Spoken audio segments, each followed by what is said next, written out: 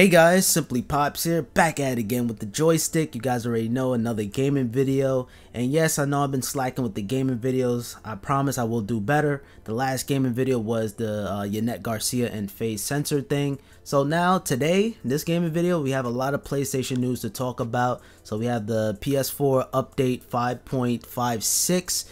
So this update is going to feature playtime management. So if you're a parent, you can control your child's playtime. So if they're playing too much Fortnite, you could set like a time limit and it's just like it's playtime management. Pretty self-explanatory.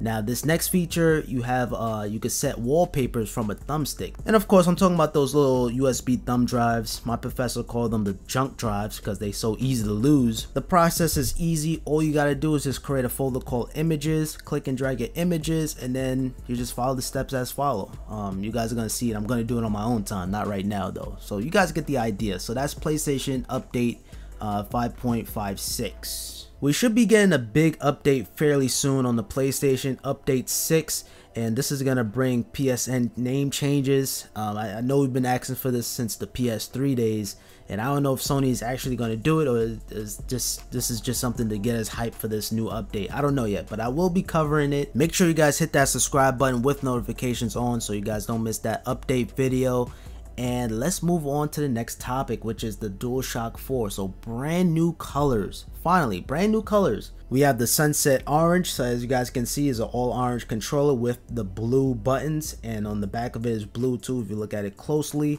So a nice amount of details. If you're a fan of the Knicks, this is the controller to get.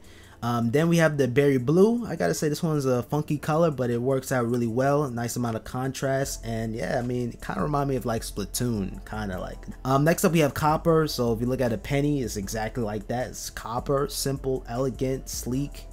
And then next up we have the blue camo. So, you know, blue camo follow up to the Arctic camo and the normal camo. But let me know down in the comments down below which one is your favorite color. Me personally, I think my favorite one gotta be the sunset orange, just representing New York, the New York Knicks, and just having that little bit of blue. The berry blue one look kind of cool too.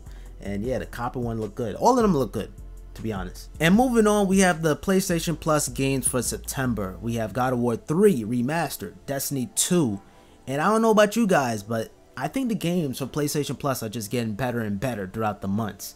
I mean, last month we had Mafia 3, and I think the the month before that we had Heavy Rain, which is my favorite game. I know a lot of people probably don't like Heavy Rain, but as time go on, we getting a lot more stronger games. When I mean stronger games, I mean like AAA games and stuff like that. Compared to like the beginning, like 2013, 2014, we had a bunch of indie games, and that's to be expected because the PS4 just came out. Um, so yeah, as the PS4 is getting older and older, we're getting more AAA games and it's so crazy because Destiny 2 just came out like maybe last year or yeah last year and it's crazy how it's free now. So I, guess anytime when a game is free I don't think the game really did that well or is, or selling poorly I think. But hey free is free as long as you have a PlayStation Plus account. And real quick I'm about to get off topic. Uh, I think the real reason why Destiny 2 flopped uh, just going back to Destiny 1 Destiny 1 came out September 2014, and that was that time when PS4, well, a lot of people was crying like, oh, there's no games, there's no games. There's games, but it was just a bunch of indie games. People was calling it the Indie Station 4 at the time, but yeah, people are watching their words now. We have God of War, we have a bunch of games now. Uh, but at that at that time, we had Call of Duty Ghosts, Battlefield 4, you know, a bunch of remastered games and stuff like that. But you know, Destiny 1 it was just it was a new game. It was fun. It was just a breath of fresh air in my opinion. And Destiny 1 is still good. It's still fun. But Destiny 2 now, you know, you just have a bunch of games now to the point where it just gets outshadowed. You get what I'm saying? You have Black Ops 3. You you just have better games now than Destiny 2.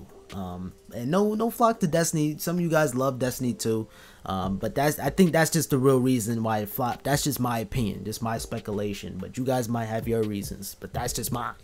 And oh boy, I saved the best for last. Sony CEO said that you can't have crossplay because PlayStation is the best. Well, I gotta say this: you can't be the best if you can't do it. I mean, just be able to play with Xbox players and Nintendo Switch players around the world. It's amazing, um, especially with Fortnite. Everybody can play Fortnite on their mobile devices, PCs, Macs. You know, why like why not? And as a business perspective, Sony is thinking, well, if you want to play with our PlayStation gamers, you got to go out and buy a PlayStation 4. But Sony, you're missing the point. You got to be pro consumer. That's what customers like. That's how you make, make your customers stay. You know what I mean? You guys killed it in the beginning. Xbox One was doing some some crazy shit with the DRM. You can't, you know, buy used games, but you guys came out with a 16 second trailer. This is how you uh, play used games on PlayStation, and you know people loved that. People just wanted to be able to play games, and it was just all about the games on PlayStation. But this one here is not for the gamers. This is anti-consumer. We should be able to play the games together as gamers. And you guys keep on forgetting about the PS3. When I mean you guys, I mean Sony. Like the PS3 didn't do as well as they were hoping. But it's just like, oh, we gotta try to boost our sales. We gotta add this feature. We gotta have crossplay. Even back in the days, they had crossplay. Um, but Microsoft was doing that crazy shit too, where you can't have no crossplay. Just because you have the crown, just because you're the best-selling console and you know the most favored uh, console right now to date, doesn't mean you could just be anti-consumer. Because you know whatever, we we got the sales, whatever, whatever. But come on, the internet will never forget. The companies tried to hide it, like oh, pretend that never happened. But come on, this is the internet. We will never forget, and that goes for people too in companies. But yeah, man, Sony, you gotta stop making these silly mistakes because it's gonna really cost you in the next generation of console. Right now, we kind of stuck. I already got a console, so it doesn't really make sense to get an Xbox One. But when it's time to pick up a brand new console, whether it's an Xbox or PlayStation, people won't forget about Sony's silly mistakes of not having crossplay. Like, oh, oh yeah, PlayStation doesn't have that, so I'm gonna pick up an Xbox One.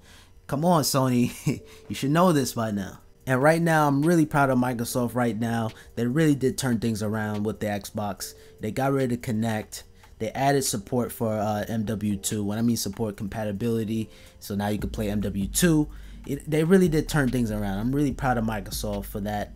And Sony still has great games. I mean, you have The Last of Us, you have that Samurai game. I, I forgot the name of it now.